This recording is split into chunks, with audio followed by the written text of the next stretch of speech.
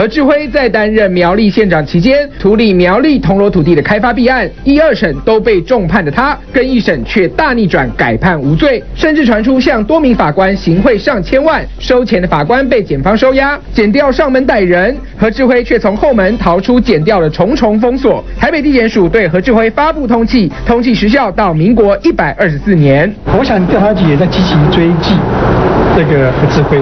检调单位宣称已经锁定何志辉的活动范围，正尽速将他查缉到案。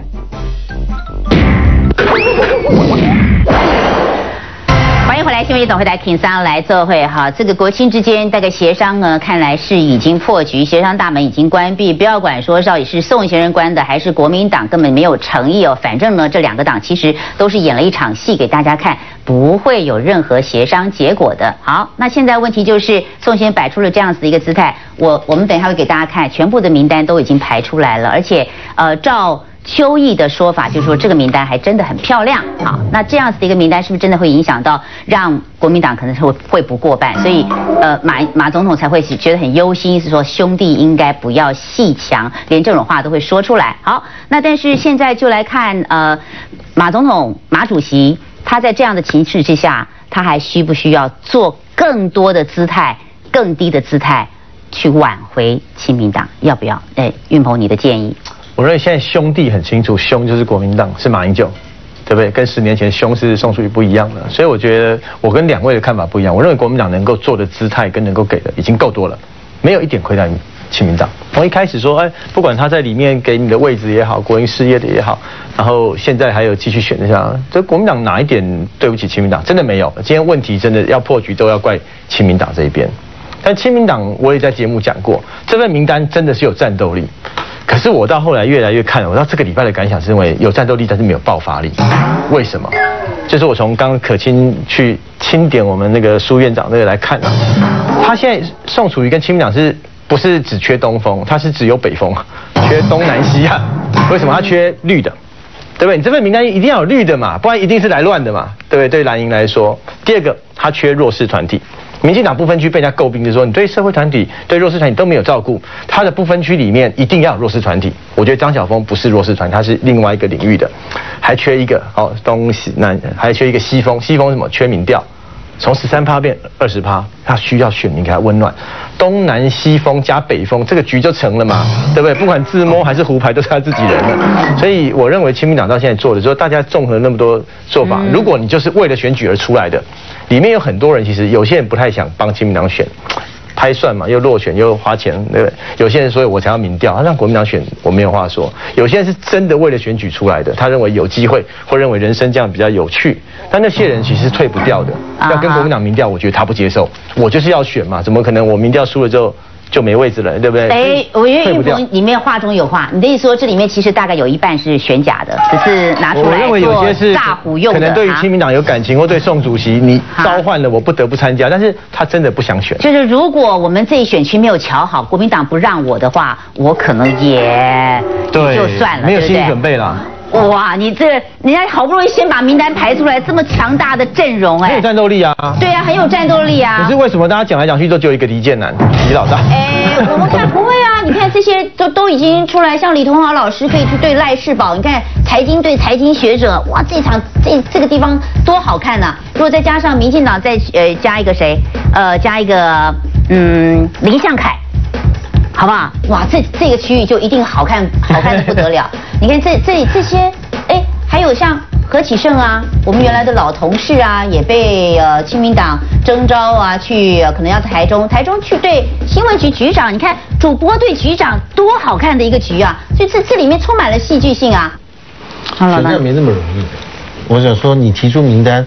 这是梦幻队伍嘛？就是选战真的没有你在地方上的经营跟等等东西，我随便讲说李老大跟黄昭顺，这局就看起来很有趣了。就是说呢，因为黄昭顺在那里是连已经是第第四届立委啊，五届立委了，很很很多年的立委了。他在地方上的经营是很多年。你不要看他过去上一次在跟那个陈局的这个局里面，他这个输得很很辛苦哈，这个这个这个票开的不好。但是不不表示他今天在左左左营拿。男男子这个区里面，那李老大去就会占到便宜啊，真的是不是这样子说的？那所以你们梦幻名单开出来，你地方上的经营，还有各地方的人看大家看待这件事的方法，其实都是送的一个光环，在笼罩在整个整体的作战里面去。嗯，那个才是真正的的的局了。如果送起来了，他底下所有的人啊，也跟着会起来，这这这是一定的。可是你底下的各个地方人，譬如说，我就说举例说，就有些人。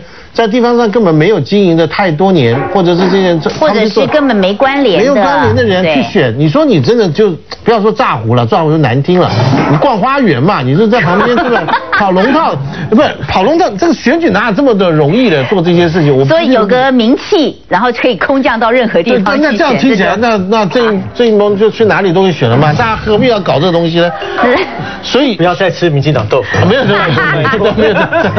所以，但是我是觉得。这个这个名单是现在会给大家或者媒体一种哇哦，对，出事了哦，要有人要来了。那当然媒体是唯恐天下不乱，最好你们大家都开开心，对，每一个都都不高兴嘛，对不对？我给各位讲一些呃比较内幕的一些的讯息啊，就是当这个菊营说他们要在各个选区推一些人的时候，你知道国民党的已经提名的立法委员有多么的紧张吗？被提名人透过了各种的管道。去跟菊营联系，希望说你不要在我这边放个炸弹，我们这个大家还有点交情，大家好谈。另外还有一个很有趣的一个讯息呢，就是，呃，原来从亲民党回到国民党去参选的这些人，当我们把他们通通都归类在亲民党的这样子的一个版图里面的时候，这些的立法委员是非常紧张的，他们也透过各种的人到媒体来。去声明说，我们不是亲民党的，亲人不要把我们放在亲民党内。我现在是代表国民党参选，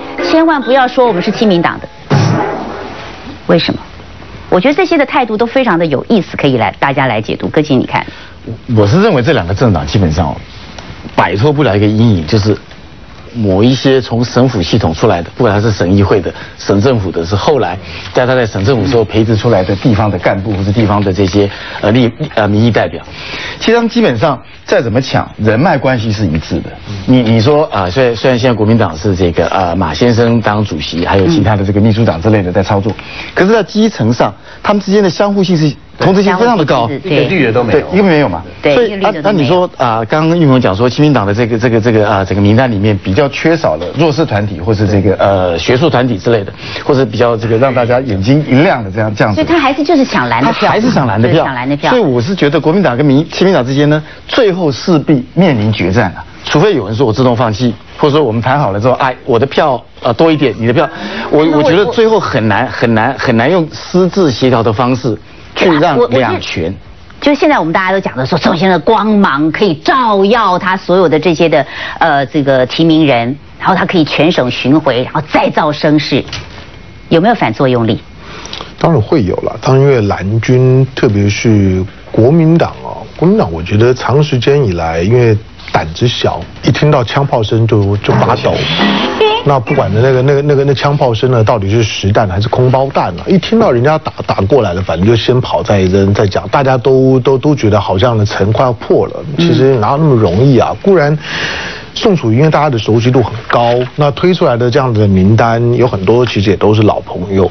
可是，如果你摆在一个一个一个比较客观现实的平台上面，我不觉得这样的一份名单有多多大的战斗力。至于你从上面数下来，黄珊珊现任的市议员，他当然有他自己的基本的票房。嗯。可是其他不管是陈振胜啊、洪世奇啊、李同豪啊、吴清池啊、郑金玲、张张碧琴这些，我们都还叫得出名字的。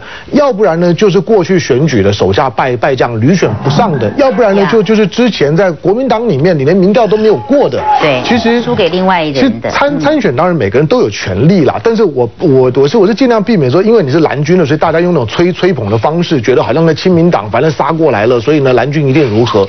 我我我我觉得其实国民党方面大概也也你也必须要做好准备，就是说这个安危到头终终须战，终须战总是要总是要杀一场的。那看能不能过。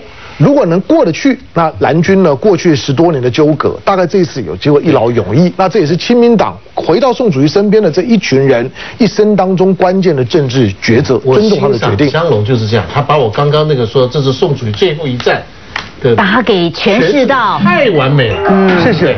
对，诠释到我还没有弄清楚他到底什么意思这样。我都以为亲民党现在才开始登短廊，结果你们已经说他是最后一战了。我我我会觉得这这个其实后面可能，呃，宋先生因为整个宋先生在这场的一个战局里面，他是不是正当出战？我觉得这个是选民会看的，虽然每一个参选都是每一个人的权利，可是这个选民会看你的道德的一个高度。所以我觉得宋先生在整个的运作过程里面，他要面对的是你自己的支持者是不是真的有些事情其实今天都可以去说。其实，在国民党跟亲民党在协商立委各地方立委的时候，就已经摆明了，就是说，如果在这个地区里面，亲民党任何一个提出来的人或老宋的人马。任何一个人，他是民调第一名，又以他为主，就这么简单，就这么简单呢。那所以呢，你一路上下来的人当中呢，每一个地方都是民调嘛，每一个区域、每一个地方都他现在讲，大家实说出来了。然后你现在再来讲现在，你们国民党都拿民调把亲民党做掉了。那什么叫那那输了以后就是做掉？什么把它做掉嘞？民调是公平的嘛，大家是唯一，虽然它不够完美。但他是现在唯一大家都能支持。你上了战场，拿了武器，讲好了游戏规则，拼完了你输了，下来之后你就说你那不公平，对不对？运鹏在这里，我就不讲说民进党不会玩这种招了。可是呢，事实上就是这样的，不是不是，我们很甘愿了，甘愿对啊，这样就是本来就嘛，愿赌服输嘛。政治本来就是一个零和战争的，这愿赌服输，你你你你要说什么呢？嗯，当然。现在他今天提出来这些人，每一个人都在摩拳擦掌，哇，往前去带着老宋的光环往前去走。可是，哎，如果真的今天可以玩这个游戏的话，那马英九下去上站台的，是不是每一个都可以上？李登辉下去都可以上？那时代早就过去了嘛。嗯哼，对不对？我我我我们待会可能大家可以到最后可以送马先生跟宋先生各给他们一句话，我们待会回来。